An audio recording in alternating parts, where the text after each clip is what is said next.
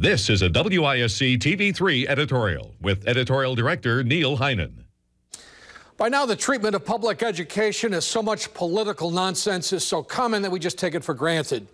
Yet we are still surprised that Governor Walker would resort to a stunt like recommending repeal of the state's Common Core standards.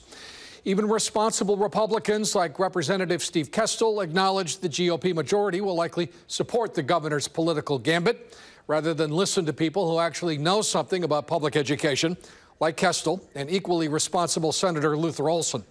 They and some of the smartest educators and researchers in the state know the standards are working, and given time and some needed tweaking, will work even better.